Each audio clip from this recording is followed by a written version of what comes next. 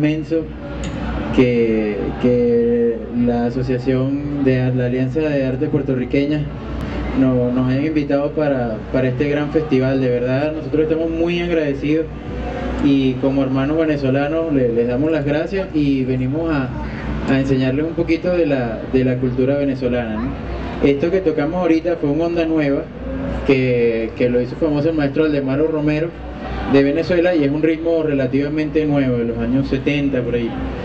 Eh, ahora vamos a mostrar dúos y va a empezar Edward y Héctor con otro nueva del maestro Aldemaro Romero, eh, lleva por nombre Carretera. Muchísimas gracias.